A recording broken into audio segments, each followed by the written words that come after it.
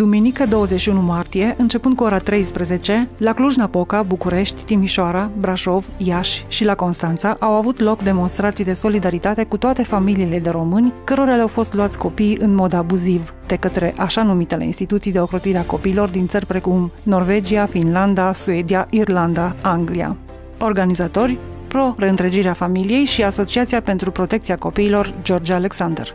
La protestul de la Cluj-Napoca au participat activiști ai drepturilor omului, pastori, preoți, reprezentanți ai pro-reîntregirea familiei, scriitorul George Alexander, alături de câțiva oameni de bine. În mod pașnic, participanții și-au exprimat dorința de a fi rezolvate situațiile dramatice în care se află familiile rămase fără copiilor a fost amintită situația doamnei dr. Camelia Smicală și abuzurile comise asupra ei de autoritățile finlandeze în lupta sa pentru a-și recupera cei doi copii, precum și situația altor mame acuzate de răpire internațională. Hristos a înviat! De aceea sunt eu aici astăzi, de aceea suntem noi aici. Datorită învierii lui Hristos avem încrederea că osteneala noastră în Domnul nu este zadarnică. A trecut un an și jumătate de când am aflat de povestea tragică a familiei Bodnariu. În același timp, a familiei Nan. Atunci am simțit că trebuie să facem ceva și să ajutăm în mod activ aceste familii.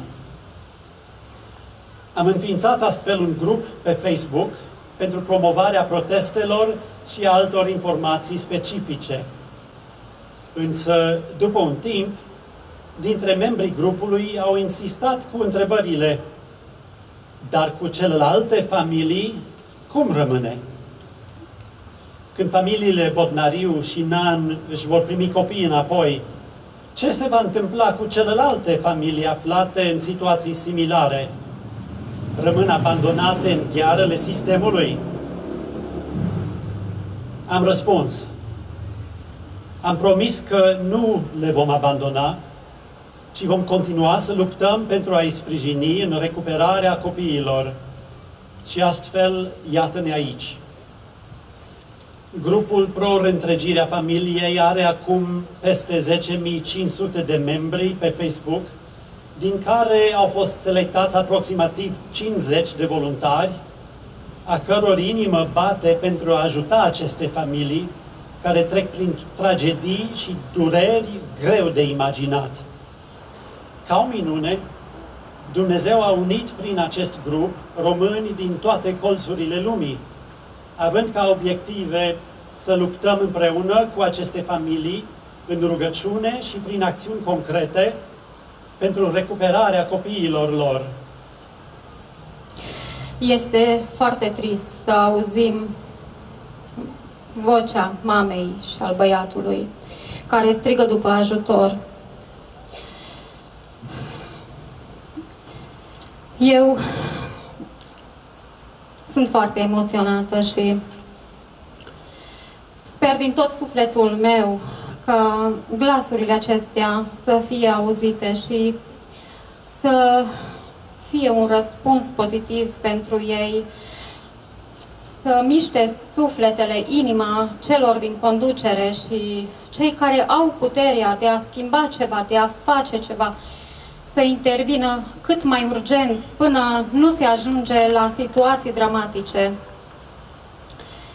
Din păcate, listele noastre se tot lungesc și pot să spun pe zi ce trece, sunt mai multe familii care ne cer ajutor.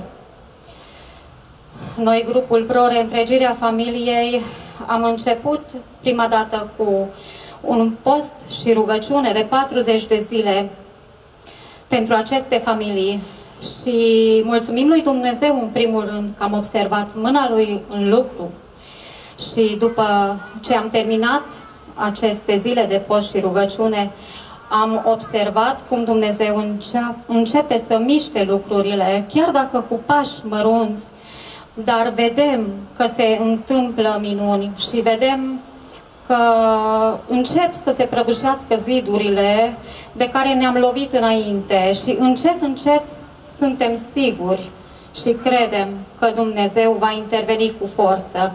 Dar avem nevoie de solidaritate din partea dumneavoastră, dragii mei, din partea tuturor părinților care simt împreună cu acei părinți ca să nu lăsăm încă armele jos, să nu ne retragem încă din această luptă pentru că de acum este nevoie și mai mult să ne implicăm. Vă rog, vă îndemn uh, să nu uităm de aceste familii și când suntem în rugăciune pentru cei dragi ai noștri, să ne amintim în rugăciune și de ei. Dumnezeu să ne ajute. Fiți binecuvântați!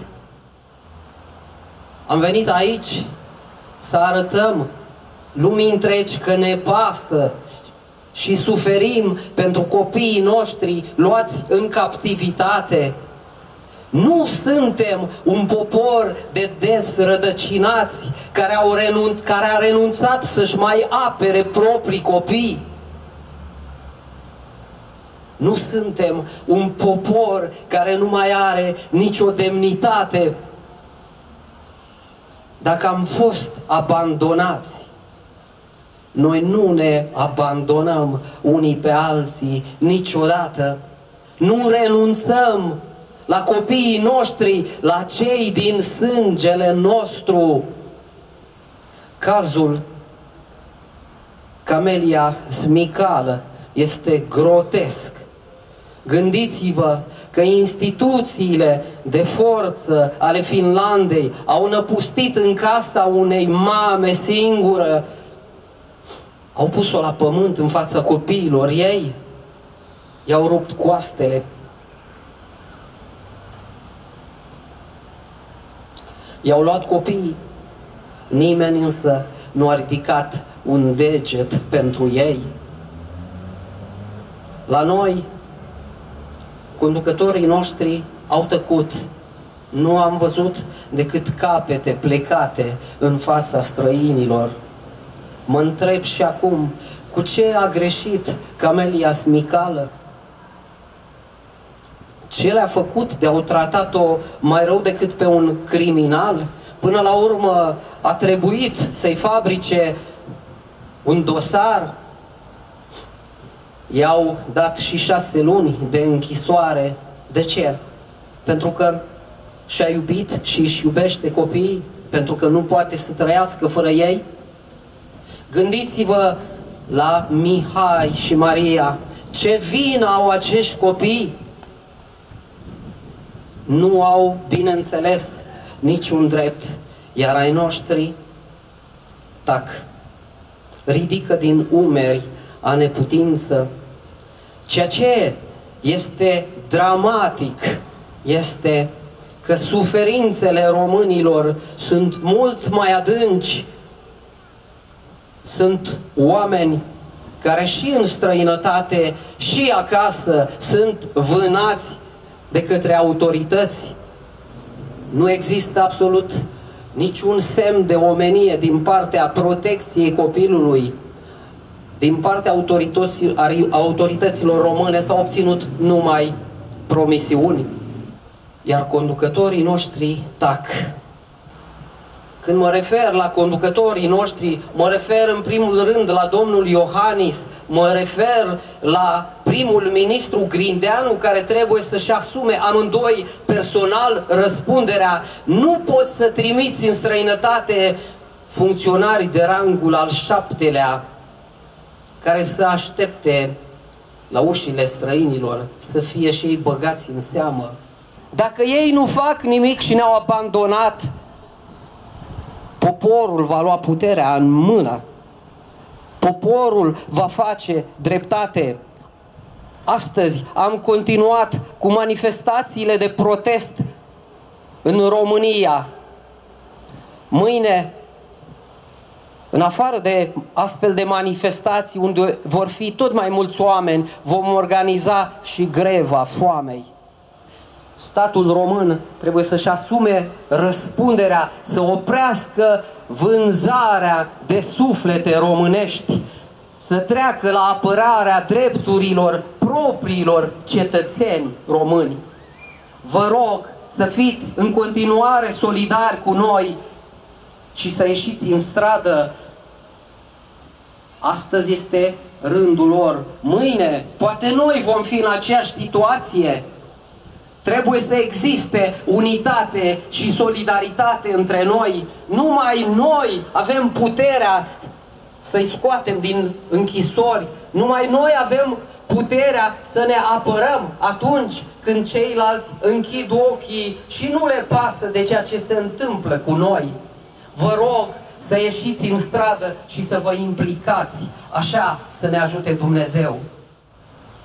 Uh, bună ziua, mă numesc Mihaela Nan. Uh, în urmă cu un an de zile uh, mi-au fost luați cei doi copii uh, de protecția copilului din Norvegia uh, doar pentru faptul că colega de clasă o mers și a spus unui adult, fără niciun fel de investigație, fără, din partea protecției copilului și a poliției, au venit, mi-au luat copiii după 12 zile, deci pe 15 octombrie 2015, uh, cei de la școală s-au dus și au uh, sunat la protecția copilului și au spus că copiii sunt loviți de către părinți acasă fără să ducă să facă vreo investigație, fără să ne sune vreodată, fără să vină vreodată la noi acasă sau să ia vreun contact cu noi, mi-au lăsat timp de 12 zile copiii acasă, iar pe data de 27 octombrie au considerat că copiii sunt în pericol, lângă părinți. Au venit și mi-au luat timp de un an de zile. Am luptat pentru ei, îmi este destul de greu să vă spun prin ceea ce am trecut, uh, pentru că îmi aduc aminte tot timpul, inclusiv copiii, atunci când se rugau de noi ca părinți să-i luăm înapoi acasă și nu aveam nicio șansă. Deci eram pur și simplu un gunoi în fața poliției, a protecției copilului, a procurorilor, la toți. Datorită Bunului Dumnezeu și a, a voastră, pentru că am știut că luptăm și luptăm singuri. Dar voi ați fost lângă noi. Ne-ați sprijinit și am, ne-ați dat putere să mergem în continuare și să luptăm pentru copii. Să nu renunțăm la luptă. Faptul că astăzi sunteți aici, lângă ceilalți părinți, e un lucru extraordinar. Poate că statul român nu ne ajută cu absolut nimic. Eu, din punctul meu de vedere, nu am fost ajutată. Uh, poate nici în celelalte cazuri nu sunt ajutați, dar voi puteți să faceți mult mai mult. Puteți să, puteți să dați șansă copiilor să trăiască lângă părinți și lângă familie. Puteți, putem să spunem cu voce tare că copiii aparțin părinților, nu a statului, nu a protecției copilului sau uh, în orice altă parte. Eu vă mulțumesc mult de tot că sunteți aici și mă bucur enorm de mult că mi-am copii și sper ca cât de curând să auzim că și Cameria sau ceilalți copii s-au întors înapoi acasă și că sunt împreună cu părinții. Este cea mai mare bucurie care putem să o oferim în momentul ăsta, este zâmbetul copilului sau bucuria interioară a copilului, că este din nou împreună lângă mamă, îl strânge în brațe și este este acolo unde ar trebui să fie. Eu vă mulțumesc mult de tot pentru că sunteți aici și vă rog din tot sufletul să facem în așa fel încât să continuăm aceste proteste, să fim văzuți și auziți, în așa fel încât să ne putem recupera copiii și să fie din nou bine. Vă mulțumesc mult de tot! Am venit din tot sufletul aici, pentru că în tăcere anonim și eu am suferit alături de acești părinți distruși, zdrobiți. Și eu sunt părinte și nu mi este greu să mă transpun în locul lor. Așadar, de ce să plângem și să plâng anonim privind la televizor sau imagini pe internet și să nu facem nimic? Iubirea este eficientă atunci când se manifestă, când devine fapte, când se întrupează în faptă. Tu poți să iubești pe cineva, dar să nu faci nimic. Cred că e timpul și era timpul să facem ceva. Mult mai mult decât am făcut. Cred că este timpul și vremurile o vestesc să lăsăm la o parte ceea ce ne desparte, dezbinările, faptul că noi interpretăm diferit Biblia, Sfânta Scriptură, este un lucru mai puțin important acum decât faptul că suntem mai lui Hristos, al unui Hristos care ne îndeamnă nu pe noi, creștinii ortodoxi, catolici sau protestanți, să ne iubim, să fim împreună, ci un Hristos care spune că și pe dușman și pe cei de la Barneverde trebuie să iubim și să iertăm. Dar ca să ajungem până acolo, mai întâi trebuie să ne iubim între noi și să lăsăm orice diferență în seama lui Dumnezeu și să acționăm pe acest teren social al iubirii către frate împreună. Suntem aici, dragilor, pentru că încă avem conștiință și încă credința în noi este vie și reală. Atâta vreme cât noi creștini din România vom dormi și păcatul ne va amorți, își va face loc în viețile noastre și în familiile noastre. De aceea mă rog ca Dumnezeu să trezească România creștină, să o apropie de Dumnezeu, să ne apropiem de Cuvântul lui Dumnezeu și să-L credem și să-L trăim în viața de familie. Cerem ca Dumnezeu să intervină în eliberarea acestor copii și aducerea lor în sânul familiei. Dorim ca Dumnezeu să binecuvinteze toate familiile din România. Dragilor, copiii sunt și trebuie să aparțină familiei. Iar familia este datoare și responsabilă înaintea lui Dumnezeu să ducă copiii la Dumnezeu. Dragi părinți, Dumnezeu ne-a binecuvântat cu copii, pe cei mai vârstnici cu nepoți. Dincolo de nevoile biologice și dincolo de nevoile uh, materiale pe care trebuie să le asigurăm copiilor noștri, sunt nevoile spirituale. Trebuie să-i conducem pe copiii noștri la Isus Hristos. Trebuie să învățăm despre Dumnezeu. Și trebuie eu și dumneavoastră în calitate de tată sau de mamă să le arătăm pe Dumnezeu în viețile noastre. Trebuie să se vadă în viața familiei creștine că acolo stăpânește Dumnezeu Hristos. Trebuie să cerem ajutor de la Dumnezeu, să ne creștem copiii în ascultare de Dumnezeu și în cunoașterea lui Dumnezeu. Mă rog ca Dumnezeu să ne ajute în aceste vremuri să nu dormim din punct de vedere spiritual, ca cel rău să-și facă lucrarea în viețile noastre, în familiile noastre, în bisericile noastre și în țara noastră. Dați-mi voie să spun ceva care poate nu o să placă multora. În momentul în care dorim să alegem să părăsim țara pentru o pâine mai bună, să ne gândim bine. Să ne gândim bine. Părinții noștri și bunicii noștri au crescut în familii mari, cu multe greutăți, dar l-au iubit pe Dumnezeu, au iubit munca, au iubit țara, au iubit familia și Dumnezeu a făcut ca poporul acesta să crească într-un mod minunat. Familii tinere care doriți să alegeți străinătatea, gândiți-vă bine. Gândiți-vă la motivația pe care o aveți. Și dacă nu aveți o chemare specială de la Dumnezeu, rămâneți în țara voastră. Rămâneți în ograda voastră. Rămâneți lângă Dumnezeu aici, în această țară care are nevoie de voi și de noi. Voi ați primit această promisiune, voi și copiii voștri. Și am primit această promisiune prin Isus Hristos.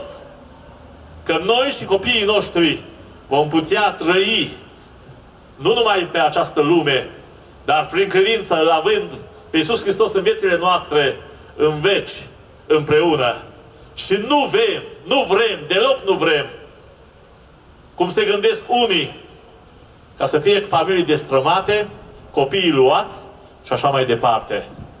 dragi tineri, să nu vă fie frică să vă căsătoriți, așa cum ne spune Biblia. Rugați-vă, faceți așa alegere ca să aveți o familie binecuvântată de Domnul, dar faceți-l doar în Isus Hristos. Toți cei care suntem în familie, zi de zi să luăm Biblia, să ne rugăm împreună cu copiii noștri și avem promisiunea, învață pe copilul tău și nici când va fi vârstnic, nu niciodată nu va trece la altă cale.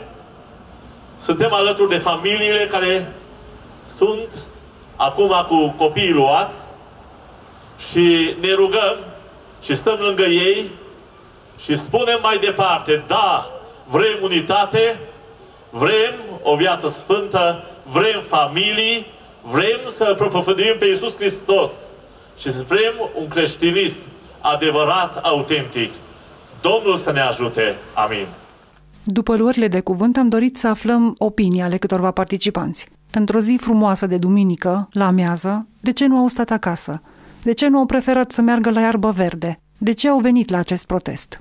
Am venit aici pentru că iubesc familia, pentru că am familie și pentru că vreau să susțin to- toate familiile care uh, trec prin acest iad și să spun că nu sunt de acord cu asta și să rog, dacă se poate, ca poporul român să intervină în această problemă și să aibă uh, milă, mai mult decât milă, să-și facă treaba, pentru că sunt copiii noștri și sunt familiile noastre.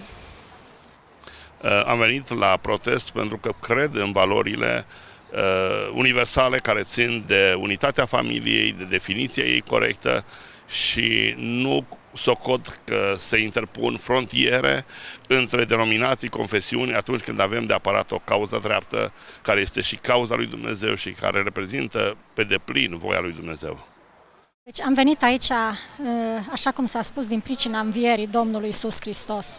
Așa cum uh, nimeni n-a crezut atunci că se va putea întâmpla o asemenea minune, uh, tot așa cred cu tărie că acești copii nevinovați au o șansă datorită faptului că noi aici am putut să venim să ne întâlnim așa de, de mulți oameni care avem credințe diferite, dar avem același Hristos și toți credem același lucru. Am venit aici din pricina faptului că îl iubim pe Domnul Isus, că iubim familia și credem în aceste valori. Și doresc ca să intervine Dumnezeu și dorim toți ca acești copii și familiile acestea care sunt atât de încercate să poată să fie din nou recuperate și prezența noastră aici cred că înseamnă foarte mult. Deci am venit un foarte mic gest de solidaritate cu familiile care și-au pierdut copiii. În primul rând este un semnal de milă și dragoste creștinească față de semenii aflați în suferință. Ca părinți, și dacă ești, dacă nu ești părinte, în, mod, în momentul în care vezi un părinte distrus, că i s-a luat tot ce are el mai de preț pe lumea asta, nu poți să fii indiferent, nu poți să spui că ești creștin și să întorci capul să pleci în altă parte. În primul rând, pentru ei e o încurajare că nu sunt singuri și că noi încercăm să transpunem învățătura Mântuitorului într-o dragoste care face ceva, poți să iubești pe cineva să nu faci nimic. Dar nu cred că asta e dragoste adevărată. Dragostea are nevoie de comunicare, de dăruire, de prezență. Printre participanți am întâlnit-o pe doamna Mihaela Nan, pentru care ne-am rugat și am postit în aceeași perioadă în care familia Botnariu lupta să-și recupereze copilașii. Am stat de vorbă cu doamna Mihaela Nan. Spuneți-mi, vă rog, credeți că se va rezolva ceva? Uh, sincer să vă spun, uh, datorită nouă, a celor care, dacă avem voință să ieșim în stradă și să ajutăm părinții, da. Este singura noastră șansă, singura noastră posibilitate de a ne recupera uh, copiii. Pentru faptul că statul român, de cele mai multe ori, nu face absolut nimic. Iar noi suntem în uh, postura de a lupta singuri în, în fața unui sistem. Dar uh, faptul că sunt uh, oameni care ies în stradă, care ne susțin, ne dă puterea să luptăm în continuare și să mergem pe mai departe. Pe dumneavoastră, familia Nan v-a ajutat protestele care au avut loc? Sincer să vă spun, nu prea. Asta pentru faptul că în ianuarie, în 2016, când am avut procesul în curtea administrativă, judecătorul a venit în instanță și a spus foarte clar uh, acolo. Deci faptul că se fac proteste, faptul că am ieșit la televizor, asta ne-a afectat foarte mult în decizia lui pe care o luat-o de a nu returna uh, copiii familiei. Practic vine și îți spune că uh, protestele pe ei nu influențează cu absolut nimic și nici nu le schimbă uh, ceea ce vor să facă pe mai departe. Deciziile de cele mai multe ori sunt luate înainte de a ajunge în tribunal. Și dumneavoastră ca femeie care ați, și ca mamă care ați suferit, um, spuneți-mi două cuvinte pentru ce ați venit de fapt aici. Aici am venit să susțin, să o susțin pe Camelia și pe celelalte familii. Știu prin ceea ce trec, le simt durerea, uh, vreau să știe că sunt alături de ele tot timpul Uh, și să lupte în continuare pentru copii, pentru că Bunul Dumnezeu este deasupra și, dat, uh, și cu ajutorul vostru reușim să-i luăm înapoi. Am venit uh, să susținem familiile care și-au pierdut copiii, am venit din dragoste pentru ei, să le arătăm dragostea, să le arătăm că suntem alături de ei. Am decis să fiu unul dintre cei care suferă împreună cu frații mei, cu concetățenii mei, cu familiile, cu tații, cu mamele care și-au pierdut copiii și să strigăm împreună pentru ajutorul lui Dumnezeu, pentru izbăvirea de la El. Ultima redută pe care o avem în societate este familia. Dacă pierdem și această redută, am pierdut totul. Uh, am venit aici tocmai ca să susținem uh, familia care este formată din bărbat, femeie și copii. Uh, pentru că știam că vin și alți creștini și de am venit. Și am vrut să fim împreună, să fim cât mai mulți. Uh, eu mă bucur că am ocazia să vorbesc, să-mi exprim principiile, valorile, crezul, pentru că foarte mulți ani a trebuit să tac. Și acum, când putem vorbi, se pare că suntem foarte comozi. Uh, până mai putem încă vorbi. Până mai putem încă, încă mai vorbi. Putem vorbi. Uh, tocmai ieri am avut o întâlnire cu medicii creștini și încă legislația nu e foarte clară dacă medicul creștin are voie sau nu are voie să se roage cu pacienții, dar va veni probabil legislația în care, sigur, nu vom avea voie să ne rugăm cu pacienții. Așa că am, am fost oarecum uh, entuziasmată de această inițiativă de a fi aici și n-am scăpat-o. Uh, ce vreau să, să mai spun dacă Dumnezeu ne-a fabricat, ne-a construit să, folos, să funcționăm în familie, nu putem funcționa altfel. Este exact cum un tren care a fost fabricat să meargă pe șine, l-ai, put, l-ai pune să meargă pe șosea. Va merge puțin din inerție, dar se va împotmoli. Uh, tocmai așa este și societatea noastră. A fost fabricată să funcționeze în familie. Dacă familia o distrugem, ne autodistrugem. La București, pentru susținerea doamnei dr. Camelia Smicală și a copiilor ei, demonstrația pașnică a început în fața ambasadei Finlandei la București și s-a încheiat la Ministerul Afacerilor Externe, unde s-a înmânat un protest oficial. Aceste demonstrații protest fac parte din campania de conștientizare a cetățenilor români cu privire la una dintre cele mai ticăloase fără de legi comise la nivel internațional, răpirea sistematică a copiilor de către serviciile de protecție socială, în Norvegia, luarea copiilor din sânul familiei se face fără ordin judecătoresc și înainte oricărui proces legal. Familiile nu beneficiază de nicio protecție din partea legii. Organizația Human Rights Alert, Norvegia, atrage atenția că, în multe cazuri, copiii sunt plasați în interiorul unei rețele de angajați ai Barnevernet, ai poliției și ai agenției guvernamentale care recrutează familii adoptive și conduce instituțiile ce se ocupă de familie. Este important să știm că familiilor cărora li se iau copiii, li se interzice să vorbească în public despre asta. Situația tragică a multora nu se află niciodată. Dacă vreun părinte îndrăznește să spună ceva, este pus sistematic la punct prin reducerea numărului de vizite la copii și chiar prin amenințarea cu adoptarea forțată a acestora. Ne rugăm mai departe pentru ei și fie să treacă de la acest prezent dureros spre un viitor mai frumos.